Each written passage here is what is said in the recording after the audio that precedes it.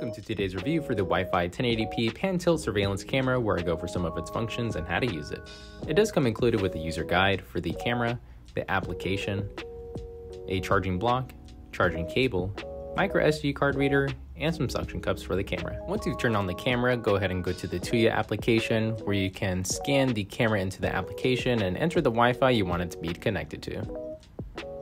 Once you do that and scan the camera to your phone, it'll sync to your Wi-Fi. And after about a minute or so, you can get the live feed straight to your phone where you can access it in high definition. From there, you can also do other functions as pan tilt the surveillance camera left to right. From there, you can also do motion detection settings, change the theme, look at the gallery of what you've collected, and playback from the SD card as well.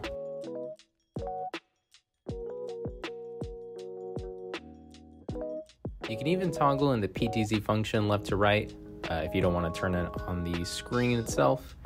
And you also have other functions such as display settings, SD card settings, and other storage settings as well of how you want the camera to function.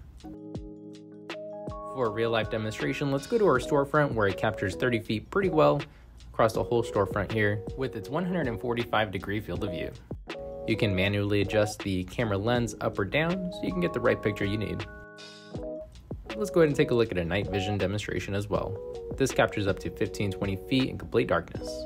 If you enjoyed today's video, make sure to give us a like, subscribe, and stay tuned for future products like this at spycentre.com.